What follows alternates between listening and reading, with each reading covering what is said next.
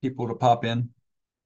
But while we're waiting for people to do that, um, just want to make, well, first of all, welcome everyone to uh, this month's roundtable, scientific roundtable. Uh, just to remind everybody, there's some new resources up on the website uh, relevant to today's talk, some new iPS cells uh, with uh, different PKD mutations, um, reversible PKD1, PKD2 mutations.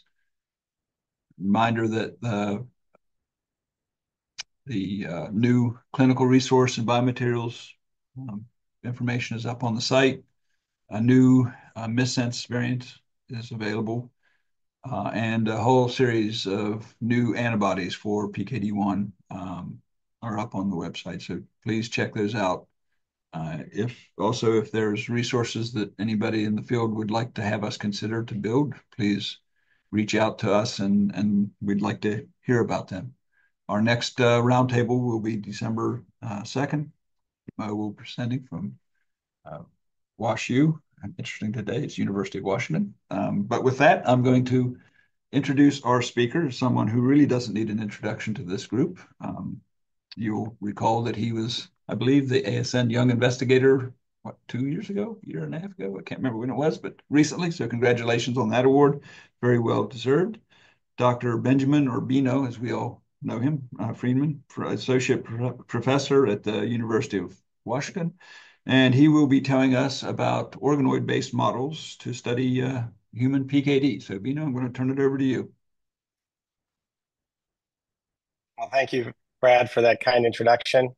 And yeah, it's I, I feel like uh, one of the family in the RRC. So uh, great to be here. You even got a T-shirt, Bino. I know, I know. I have a T-shirt now. You are now an official member, so there we go. Which I will be sporting. Um, yeah, and you know, thanks for coming the day before the election. You know, this is hopefully something a little bit more fun to talk about than uh, than sitting on our nails. Just a few disclosures here think everybody here understands that kidney, kidneys are highly complex organs and that we need to study them, but they are also very challenging to study. I think that piece of it, for me, uh, I learn more and more about every year and appreciate more and more. So really a, a beautiful and complex organ that's taken, you know, millions of years to evolve. And we're really only beginning to understand it. And uh, several years ago now, almost a decade ago, uh, we devised a protocol to differentiate pluripotent stem cells uh, into these kidney organoids, as we call them. They kind of like little uh, primitive nephrons in a dish. And uh, the way my protocol works is uh, plating cells in an adherent culture and allowing them to round up in a very thin layer matrigel sandwich. So they form these little spheroids. And then these are induced to differentiate into a mesenchymal population uh, with a GSK3 beta inhibitor. And uh, that results in an epithelial to mesenchymal transition and subsequently reepithelialization of these uh, cells into these uh, clusters of tubular structures. And when we go and stain those clusters, we can identify nephron segments that are characteristic of kidney tissue, and uh, they appear in the uh, expected proximal to distal segment orders that we would normally see in those tissues, and that's why that's how we know they're they're, they're kidney. Uh, they're not as sophisticated, of course, as actual kidney tissue. There's some parts missing. Uh, you'll see here the podocytes, for instance, have holes in them in the tissue those holes correspond to the capillaries. Uh, there are no such capillaries inside the clusters of podocytes found in the organoids. Uh, nevertheless, uh, they're pretty sophisticated, and uh, I think this gives us new ways to study the organ that weren't previously possible. And over the years, we've appreciated that it's not just epithelial structures that arise in these organoids, uh, but also uh, a significant stromal population, uh, which includes endothelium. So even though there aren't actual capillaries, there are a lot of these endothelial cells that uh, are associated with the organoids in a relatively specific manner. And uh, when you compare these organoids by single-cell-seq to developing human kidneys, uh, we see many of the same cell types. So uh, we're, we're, we're, very confident that these are indeed early stage kidney structures that are forming in, in the Petri dish. Uh, you can also appreciate here in this image on the left that among the epithelium, uh, we occasionally see these uh, parietal epithelial cells surrounding the podocyte balls. And uh, those are actually uh, a specific Bowman's capsule-like type of arrangement. So they're beautiful to look at. What can they actually do? Uh, right now, they can't do all that much. They can't uh, generate urine or anything like that. Uh, but we do see absorptive processes and solute transport functions uh, in these organoids, which are at least reminiscent of the of the types of functions we would think about in the kidneys. So in the top here, we're actually flowing over uh, this organoid a volume that contains uh, fluorescent glucose and dextran, and you can see the uptake of those molecules into the tubular structures within the organoids. Uh, on the bottom, uh, these are organoids that we treated with forskolin, and uh, you can see that they are swelling up and uh, essentially expanding uh, in response to that increased signal, and, and they're essentially filling up with, with fluid. So we do think that they have some potential to function as well, and that's still a developing area for these organoids. So getting into polycystic kidney disease, you know, why we're all here today, uh, I'm, I'm going to make the somewhat bold statement that it remains poorly understood. Uh, we do know, of course, that fundamentally uh, there's this polycystin complex. I don't think we understand very well what is upstream or downstream of that complex and how that results in cyst formation from tubular structures uh, along the length of the, the nephron in the kidneys as well as in other organs. Um, the, the cilium is certainly uh, a site, if not the primary site, where these proteins are functioning. Um, but what is it that the cilium is actually doing here? How, why, why is it important? I don't know. Maybe Brad has some ideas, uh, but uh, I, I, certainly find this very mysterious and fascinating.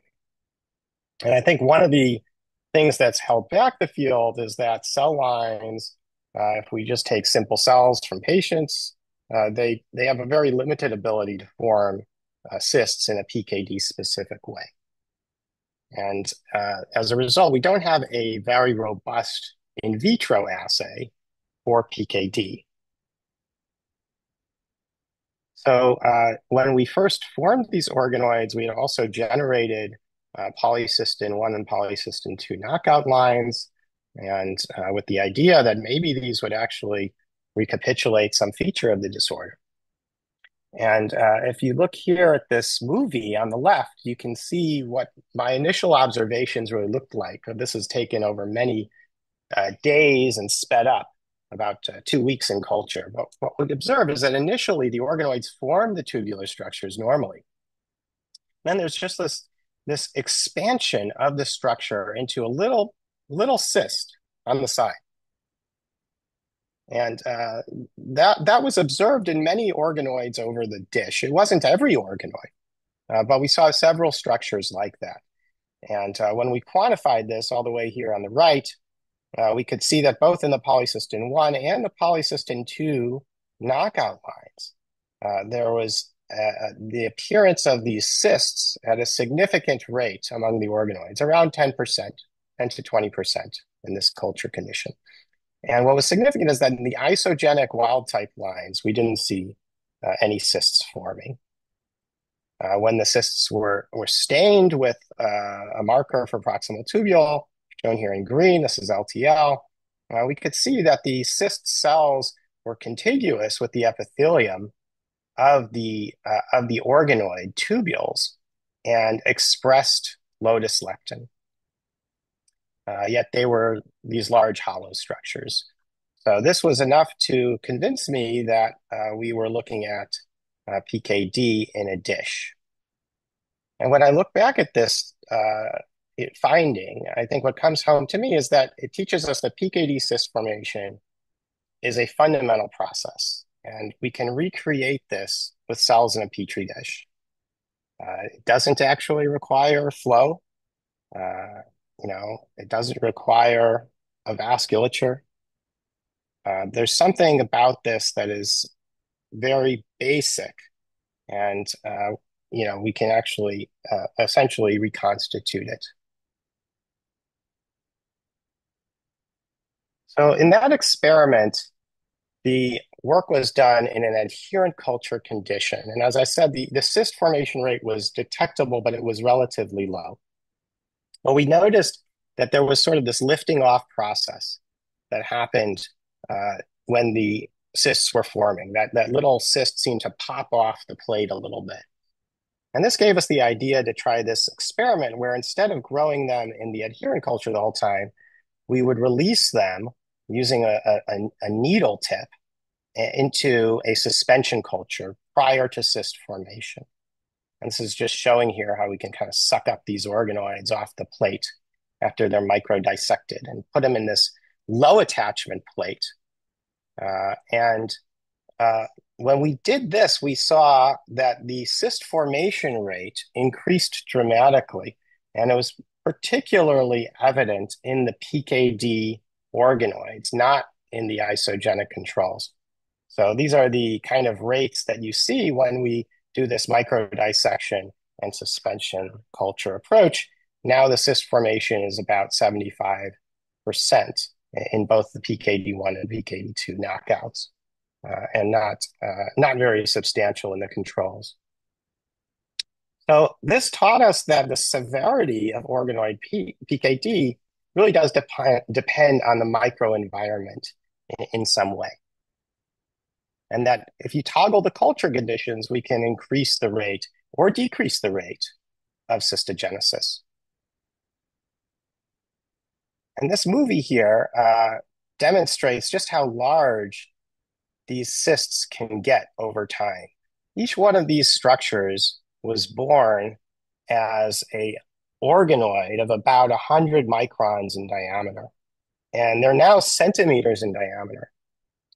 We've done the math and we, we see that these have grown about a thousandfold over a period of a few months. So there's definitely proliferation that continues to go on. And, and you may have noticed looking at those movies that the fluid inside the cysts is a different color from the surrounding media. And that's because the cysts are undergoing an active transport process that excludes the phenol red that's present in that media. So they're retaining the functionality of the original epithelium. I think when you look at these cysts uh, histologically, uh, there's evidence that they do resemble human polycystic kidney disease. So here you can see the organoid H&E uh, on the left versus a uh, an early onset PKD case, ARPKD on the right. And uh, what we observe is that these are essentially single layer epithelia that are forming. Um, and uh, these are deriving from the tubular cells within the organoids.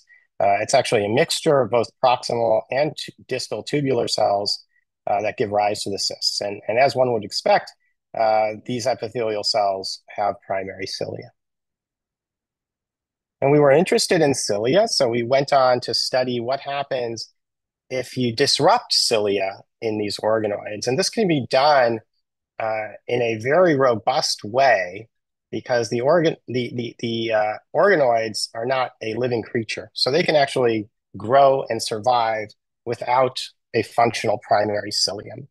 So if we disrupt these kinesin 2 subunits, uh, either KIF3A or KIF3B, uh, we get IPS cells that are essentially cilia free. Uh, they, they really don't form a, a noticeable primary cilium. Uh, they can still, however, proliferate normally. They're very stable. And essentially, the pluripotent stem cell doesn't care if it has a cilium or not. Um, However, once they are differentiated into organoids, uh, we see a cyst phenotype which is very robust. And this is a, consistent between these two kinesin knockout lines. Uh, we, we see these same large cysts forming and uh, is quantified here on the right. You can see that the, the number of cysts per organoid in this case is around 50 to 60%, a little bit less than what we see in the, in the PKD knockouts. Uh, it's not clear to me whether that's actually uh, a real difference or just some sort of uh, idiosyncrasy of the cell lines. Um, and these again really get big. And, and this is an example here of one that grew for uh, about uh, nine months. And uh, it, grew to the size of about a ping pong ball in this case. We had to move it out of the six wells and into a flask. And it was a sad day when that cyst popped. So over the years, we've tried to get at this mechanism of PKD uh, using various different types of culture conditions, uh, which I think is an advantage that you can try all these different uh, formats for organoids. On the left, these are uh, 384 well plates, which we can use to conduct screening. And uh, these essentially differentiate in these wells and they form these little cystic organoids in the 384 well plate. And then we can follow these organoids and, and, and see how different treatments affect them. And we've identified using the system uh, several different factors that can reduce the formation of cysts or slow them down. Uh, we also have placed organoids in microfluidic devices to see what the effect of flow over the organoids is. And uh, what we observe there is that the flow really stimulates the rapid expansion of these cysts. So they seem to fill up with fluid uh, more quickly under flow.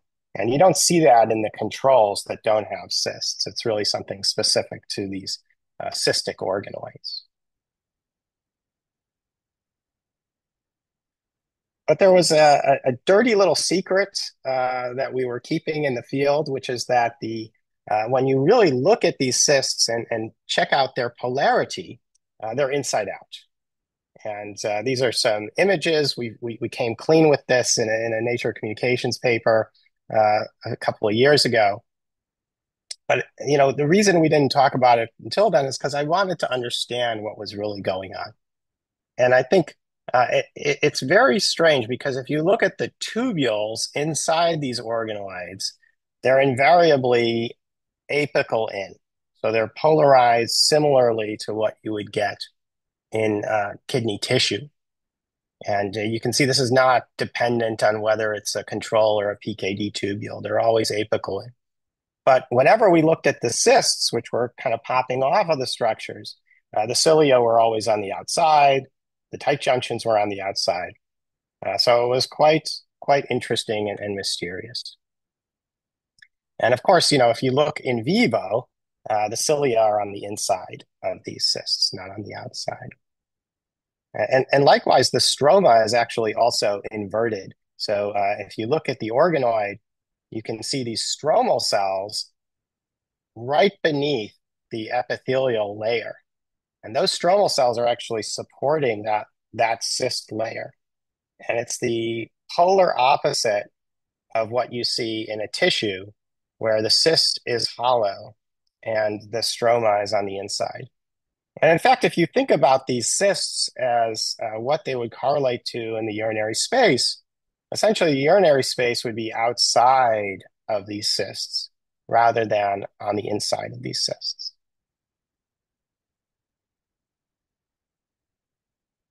So we took some movies to try to understand how this was actually happening. And uh, these are some of those movies.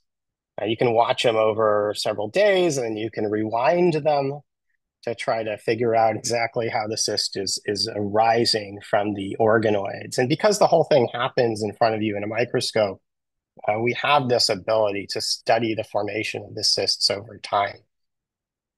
And what we observed is that the cysts arise from the peripheral epithelium of the organoids. And if you look carefully, you can see that it's, you know, in a, in a, in a structure as it forms, it's these outer layers that swell up and they leave the inner part of the organoid intact. So uh, they form these characteristic structures where you can essentially see this involution of the tubules inside the structure, but then these the, the cells outside expand up to form a cyst. It may be easier to look at in, in a still image here. This is one of those structures. Uh, you can see how there's kind of an involution of a tubule here, and then an epithelial layer surrounding it. And that epithelium swells up and expands while that inner tubule remains anchored to the underlying uh, substratum, which is in this case the tissue culture plate. And then when we followed this with careful immunohistochemistry, uh, we could observe that indeed the peripheral layer of the organoids, even before they form cysts, had uh, outward facing epithelia. And the tubule structures that I described earlier that were apical in, those are actually invaginations of this outer layer of epithelium. So that explains why you can have a cyst that's facing out, but a tubule inside the organoid that's facing it. So uh, I think that that's all very fascinating and worth thinking about. But ultimately, for PKD, uh, we would like to have cysts that face uh, their apical sides in in order to make the system more physiologically relevant. And that's something that we have been working on in the laboratory uh, over the years. And these are some of the more recent data that we've obtained, where if we take these organoids and surround them uh, with extracellular matrix, uh, we're essentially able to toggle the polarity of the cyst uh, to an apical in configuration. Now, notably, the cysts will also form just fine without uh, the extracellular matrix. So they can also form, they can form apical out or they can form apical in.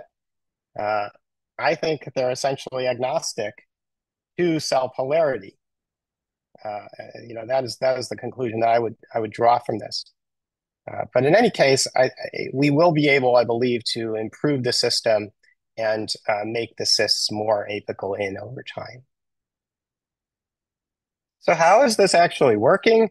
Uh, you know, we do have some ideas, and these are some of the hypotheses and, that, that we've come up with here based on our, our drug screening experiments, as well as uh, these flow experiments and microscopy. Uh, in, in the normal situation, uh, the organoids have some potential to absorb things like glucose from the media. And this is followed uh, by uh, water molecules as an equilibrium measure.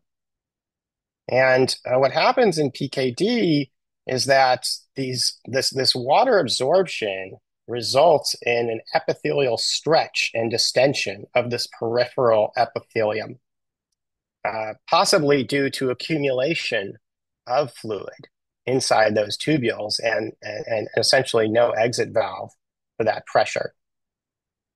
Uh, this may be related to a contractility defect where uh, essentially actinomyosin is not able to withstand those pressures that are arising because of the, the fluid accumulation. Now, how that relates exactly to what's happening uh, inside the body, uh, I would refer to you to to our paper where we have some theories, but that's uh, that's not my area of expertise. And I think it's the kind of thing that maybe we could talk about uh, as a community and and think about whether there are possibilities there. So this is an absorptive model of cyst formation. Uh, it's quite different, I think, from uh, the idea that secretion drives cyst formation PKD. Uh, I don't think these are necessarily mutually exclusive, but I think that it's uh, you know it's interesting to think about both of these possibilities, and we don't right now know exactly how how it's working uh, in, in, the disease. But I do believe that whatever's happening in the disease uh, must also be happening fundamentally uh, in the petri dish. So, however PKD works, uh, one avenue that I think we can focus on for the PKD organoid model is using it to study uh, therapeutics that could affect uh, the genetic mutations present in PKD. And I'll just walk through a recent study that we published earlier this year, uh, which is about nonsense mutations.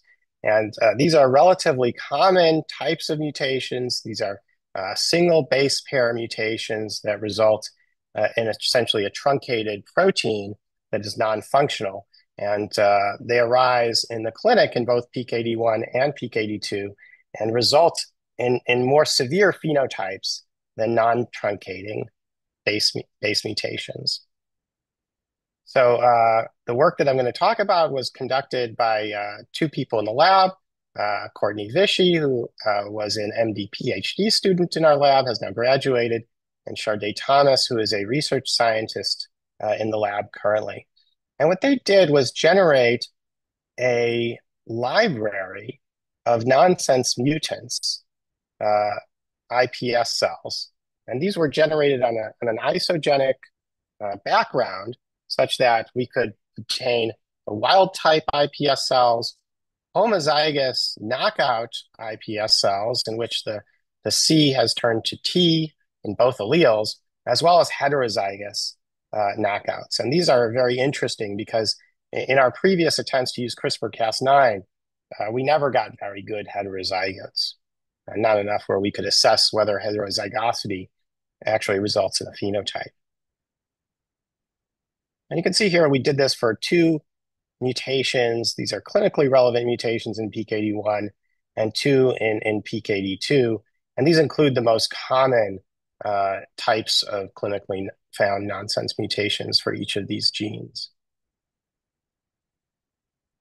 And what we observed uh, when we looked at the allelic series is that the cysts form in homozygous mutants, but not the heterozygotes. So you can see here on the left, uh, this is a PKD1 mutant. We've got the allelic series, and uh, the heterozygotes really look very much like the wild type controls, whereas there's a clear difference in the homozygotes. This is all done in the same batch of organoids, same differentiations, uh, side by side. We always do things that way. And uh, you can also see here the, the quantification, the percentage of organoids forming cysts. It's really just the homozygotes that form cysts, uh, not the heterozygotes. And this was an interesting experiment. It taught us uh, that having 50% of the normal protein levels of polycystin 1 or polycystin 2 is sufficient to rescue the phenotype. And you know, I'm not going to show you the protein expression data, but that's in the paper. Uh, so, you know, the heterozygosity alone, haploinsufficiency, is not enough to produce the cysts, at least in our system. Uh, and it, it, also shows uh, that there, because the homozygotes really do obviously form cysts, I think it supports the notion that you do, uh, that a second hit will really drive PKD. Um, if nothing else, it will make it a much stronger phenotype that can be observed in a short period of time. I suspect that there is likely some second hit that's also occurring in vivo, as many uh, as many of the researchers on the call have actually shown over the years. You know, we wanted to make uh, double check this and also do a little bit of a pilot of, of gene therapy for PKD. So we we performed the reverse experiment. We took our base edited homozygote and performed uh, adenine base editing on them to essentially turn them from homozygotes into heterozygotes. And uh, we saw the same effect. Essentially, heterozygosity rescued uh, this phenotype.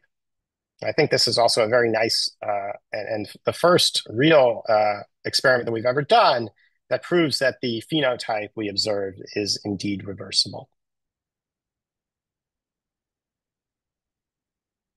Now, clinically speaking, uh, we had a strong interest in this because we were collaborating with a company called Elox, and they had developed these glycoside drugs that essentially can read through, they can promote read through of uh, premature stop codons.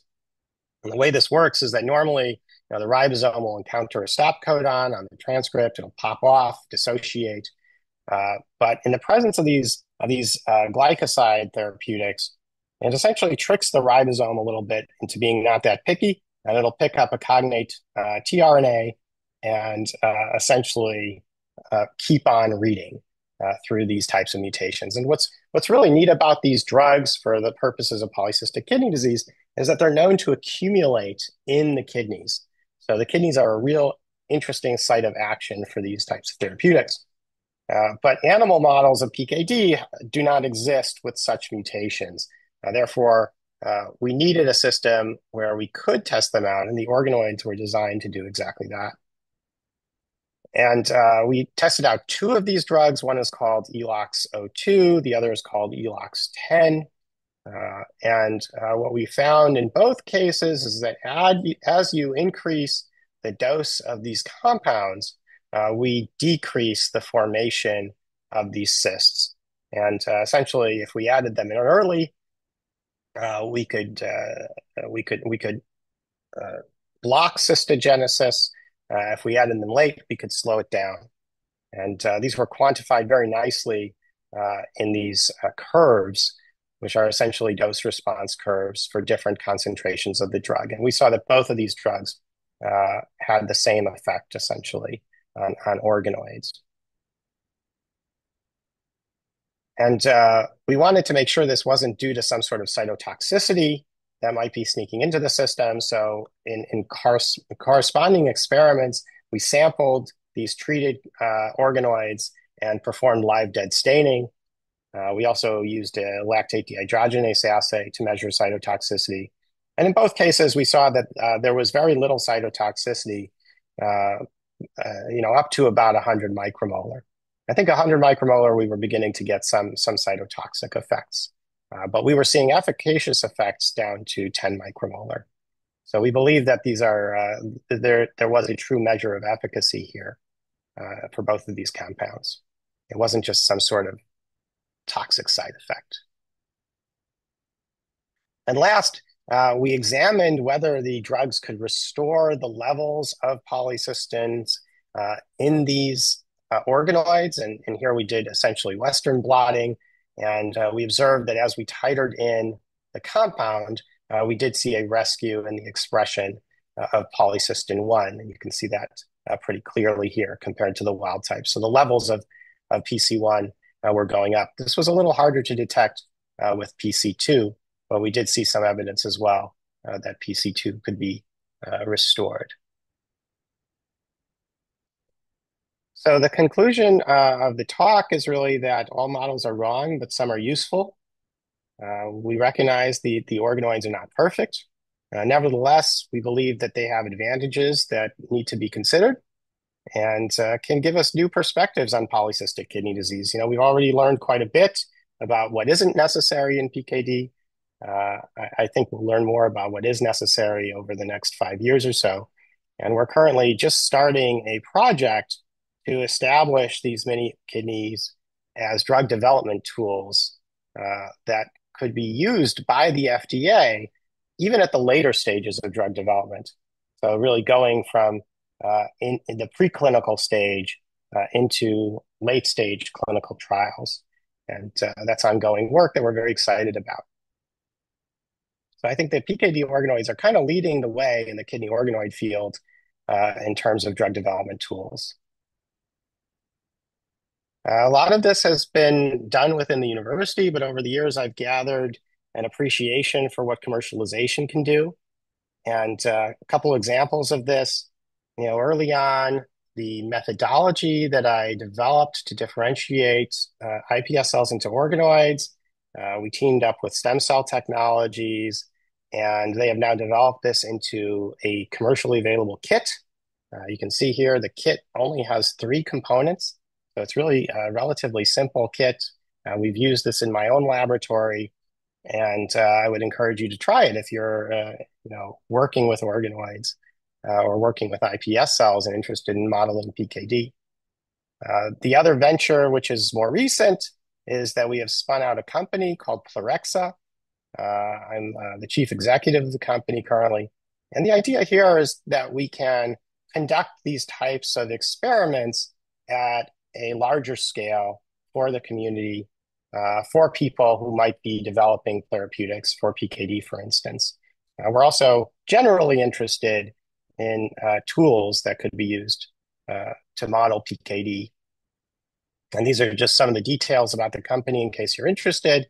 You know, it works essentially like a small grant application type of system.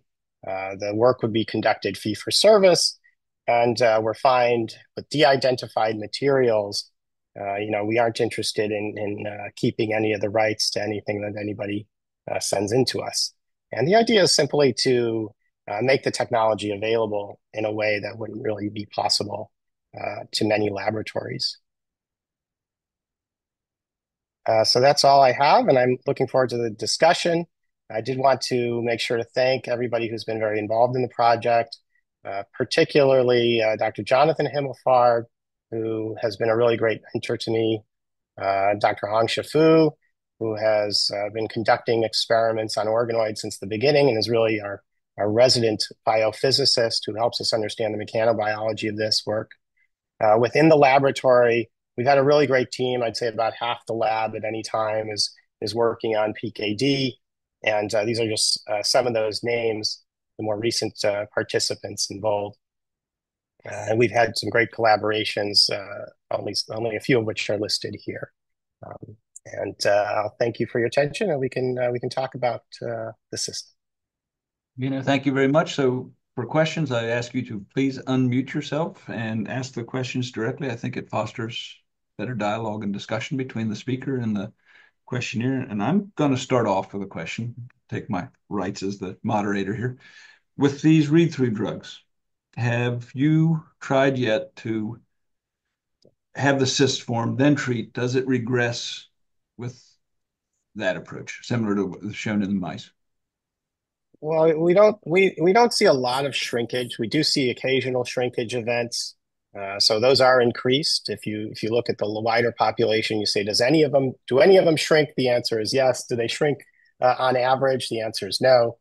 Uh, I think that's to be expected because read-through is not very efficient, right? So it's nowhere near as efficient as what we see, uh, you know, in Steve Somlo's papers, for instance, when, you know, you're re-expressing PKD2 at high levels.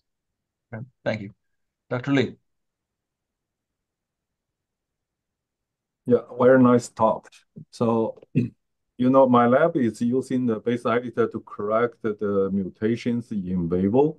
So my question is that, uh, you using the organoid to test the base editing, and, uh, how you deliver the the base editor to your organoid? So we do the base editing in the pluripotent stem cell stage, and it's all delivered uh, essentially with plasmids. So we just Uh, express both the base editor as well as the guide RNA uh, using DNA plasmid transfection, and then we isolate different clones of the pluripotent stem cells and screen those with Sanger sequencing. And Sanger sequencing works beautifully for looking at base editing, so that's another big advantage of that technology. Way cleaner than conventional CRISPR-Cas. But we don't have a way yet of delivering these editors in into the organoids in their mature state, which is, I think, what you guys are talking about doing. That would be very interesting, but but we're not uh, we're not able to do that yet. Thank you. Dr. Wallace? Uh, Thank you very much, Bino. It's always an enjoyment to listen to your project and how it's developed over the years. Uh, you mentioned that you think that the polarity is agnostic uh, uh, as far as cyst formation. Do you think that then cyst formation is strictly driven by the proliferation of the cells, and that fluid accumulates by multiple different approaches? 'Cause um, I was interested in the flow versus no flow. If you have the inverted cyst and you increase flow, that would increase the absorption, which expands cyst formation. But then in in PKD, we think that there's a limitation of flow, and the there's no flow on them to activate the cilia, and then that contributes to the secretion of fluid. So I was just wondering if your if your thought is that it really doesn't matter as far as the fluid transport, and that everything's being driven by the proliferation of the cystic epithelial cells? Uh, you know, it's a great question, Darren, and I don't know. I think it's very confusing for me sometimes uh, to to to figure out. I, I don't want to say that the fluid transport has nothing to do with it because I, I you know, it just seems to me that it's got to have something to do with it. Um, that being said, how can you have you know fluid transport going and and having the same result when uh, you have two opposite geometries of the cells? That doesn't make a lot of sense. So it, it might be a third thing like proliferation. Um, it also could be a biophysical thing, you know, the, the sort of tension of that epithelium that's occurred to me as well.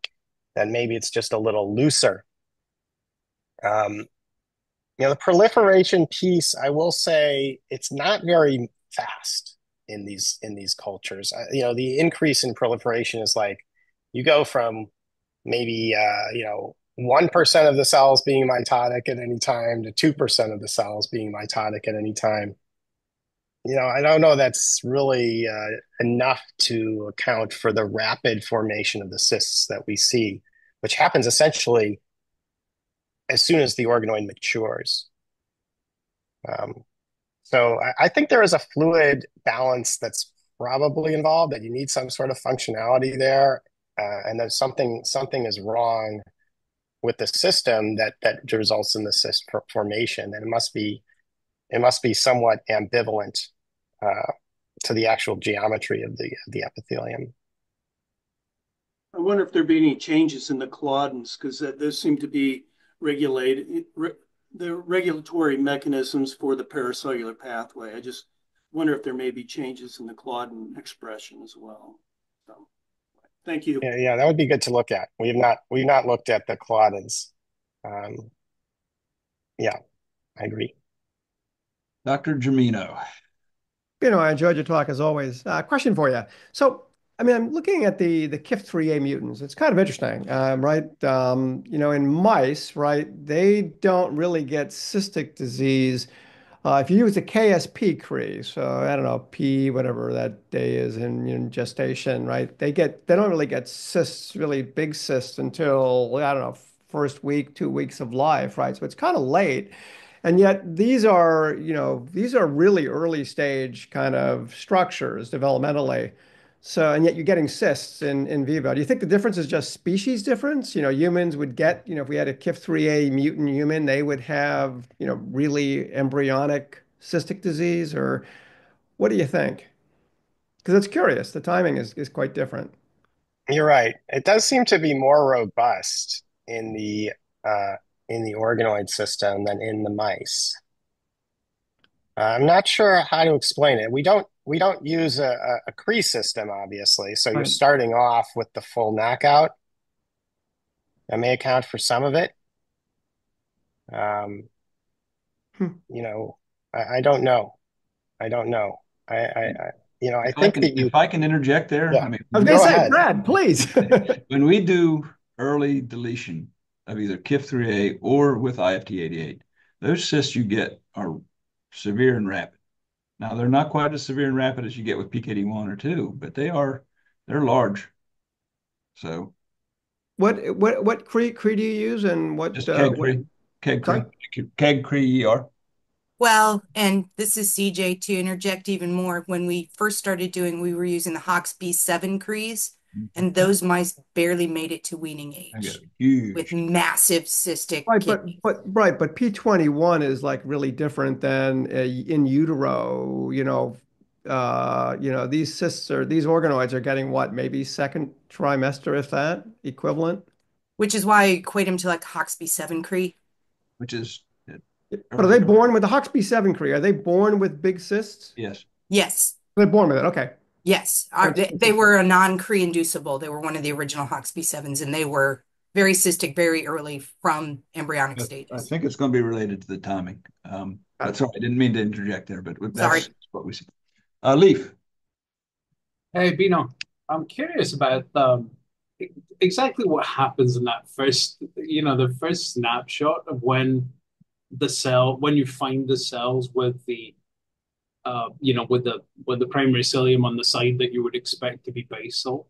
I didn't really get that from the pictures that you saw. I I I understand that you know you can find them with all, uh, you know, acetylated tubulin or IL-13B where you would expect them to be basal. But do you ever see like mixtures of cells that are facing uh, different directions? Or like, how do you how do you visualize that very first step that you know because you are basically going from a ball which are showing with apical cilium inwards to a ball with apical cilium outwards well the the ball starts off with some apical cilia on the outside i think that's at least part of the answer you know, there are parts of the organoid that just form apical out, and that's normal. That's normal for anything. You know, cells will polarize against the stiffest thing in their neighborhood, right? Well, I didn't mean to do that, but hey, all right, I'll go with it. Um, happens often in these conversations. Uh, so, you know, cells are going to polarize towards the media. And that's what's happening even in the wild type organoids as they form. Um, and then I think it's that combination of having a PKD mutation on top of that. So those cells that are facing out, they end up swelling up. And the stuff that's inside the ball that's facing apical in, it's not doing the swelling.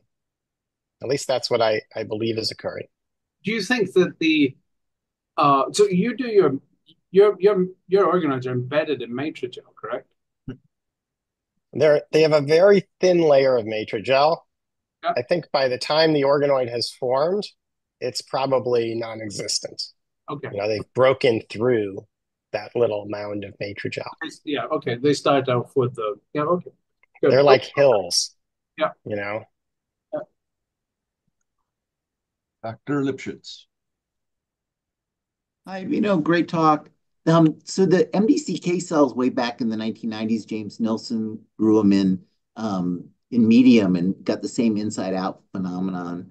So, so it's probably just like you're saying, when you have extracellular matrix, then it reverses, right? So it's is that is that the idea that it has nothing yeah, to do with exactly necessarily, but the medium. Exactly. Yeah. I think if you have like something around them that will push them to polarize, you know, right side in, uh, you know, then they will form in that manner. And we should be able to get cysts to form as well that are, are, are closer what we see.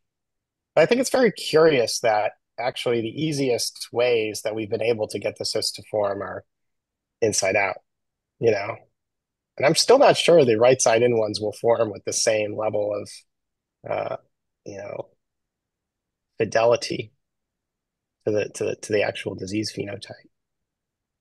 Is it difficult to code them with the extracellular matrix? No, no, it's not. It's not difficult. Um, you know, you have to you have to figure out which extracellular matrix is the right one, uh, you know, and that sort of thing. But uh, they're very easy to manipulate and and and play around with, and there's really a million ways that they could be played around with. Uh, I think that's part of the fun of the the system. Yeah. Dr. Zhao, you had your hand up. Yeah, I'm not sure. Like with this new version, I, I don't know how to do the uh, animated uh, hand up. Uh, been a very nice talk, uh, as usual. Uh, I was just wondering, um, what would the tubular segment these cysts represent? Both LTDBA or uh, one of the kind? Yeah, it tends to be both. Uh, there's, uh, you know, the LTL and the DVA and the organoids are not not completely separate from one another. There is some overlap between those two those two markers within the organoids. And when things turn into cysts, it really they really tend to overlap. I think there's actually some level of de-differentiation that must be going on. Uh, you know, sort of similar to what uh, you know Cat Hop and uh, Peter Harris have shown in the PKD1RC RC, right? When they do these sort of long-term analyses of where the cysts are coming from. But we definitely see it in both. Um, I think actually in uh, 2008 or 2007 when we published the first uh, uh, our, our, our line of uh, PKD1 flox mouse, we noticed the transition of uh, cysts from proximal to distal. But I was wondering because everyone is curious about the reversed polarity, and I was wondering whether there is any connection with, you know, with the tubular segment. But sounds like there is not. Is that right? Josh, your hand is still up. I don't know if you have another question. No, you're muted, but no, I'm good. Sorry, I'll, I'll lower my hand. Jing doesn't know how to raise her hand. I don't know what happened with this new version. get those two together. I can only do the thumb up somehow. All right. Um, other questions? So I guess Bino just oh, to, there we go. We got thumbs up. I agree. Um, I guess kind of ending on this, Bino, one of the questions I kind of always ask at the end is if there's something that the consortium could do to help your research program move forward. And I think one of the things I heard would possibly be a mouse that would be relevant for your read-through drugs in one of the polysystem mutations. Um, I do think that would be very interesting to have such mice. Um, there may be some of them in the works, but I don't think there have been many. Yeah. So I do think that would be interesting. You know, those types of, uh, and I think, uh, you know, kind of getting at what Dr. Lee was mentioning. You know, we would be interested in in in, in ways of uh, conducting, you know, things like gene editing in in, in the uh, PKD organoid system. That may be a little bit beyond sort of the the typical um, set of tools. Uh, but I do think it, you know those types of things, being able to really use organoids in different ways from what's been established, we need some technology development there. Uh, I think the some of the work that I've seen in the literature, you know, I don't know what's what's really going on in the PKD-RRC these days, but um, you know, I, I, I do I, I, do see that there's an emergence in the literature of uh, organoid and, and, models coming from some of the mice. And I think that's kind of an interesting parallel system. So, you know, the mouse models, uh, you know, could be useful for us to understand, you know, how what what that what the difference is between in vivo and in vitro. You know, I don't know if there's some way to get those types of organoids um, But uh, yeah, those are the types of things that come to my mind. Yeah. I think in general, having conversations and really thinking about what's happening, you know, with with you guys and seeing all these different types of complementary systems, you know, if we could actually figure out what the mechanism is of cyst formation in the organoids and you know how it could be apical in people go out. That would be interesting as well. You know, we do have theories about absorption in the context of mice, which would be interesting to test. We don't have the tools to do that. But, you know, is it possible that there is more absorption in a PKD kidney um, in vivo? That would go completely opposite of what the current thoughts are on cyst promotion and fluid secretion. Um, but it's an interesting idea. Josh, his hands back now, up. Now, now I really have my hand up. So, so when you did the flow experiments, if you did the flow experiments when you made the polarity normal, would you still see changes? Yeah, I don't know. We'll have to try. You know, I, I don't know. It's a good question. A good question. Dr. Wallace. We actually kind of have to redo a lot of experiments now with this apical in polarity. Yeah, kind of talking about that, Bino. So um, back when I was with with Grantham, we we did some experiments where we grew cells in agarose, and the cells would invert their polarity, so the the uh, cilia would be on the outside of the cysts. And so we we did that to isolate absorptive uh, cell types, and then you can grow them into culture on a two dimensional support, and they'd actually form domes because they'd absorb fluid, so they had an increased absorptive capacity. And then, of course, if we put them in a collagen matrix, they would form uh, cysts with what we consider to be kind of the orthologous orientation. Um, so I wonder if you took your your organoids and put them in agros where you don't have uh, flow over the primary cilia, would you still see cyst expansion uh, like you do in in the um, uh, suspension culture? Anyway, that's just I know you don't yeah, have that would be interesting. Yeah, a lot of interesting ideas there, Darren. And it's interesting that you saw doming too. You know, I am I am always curious about doming as an assay. So good thoughts. Right, we are right at about the hour.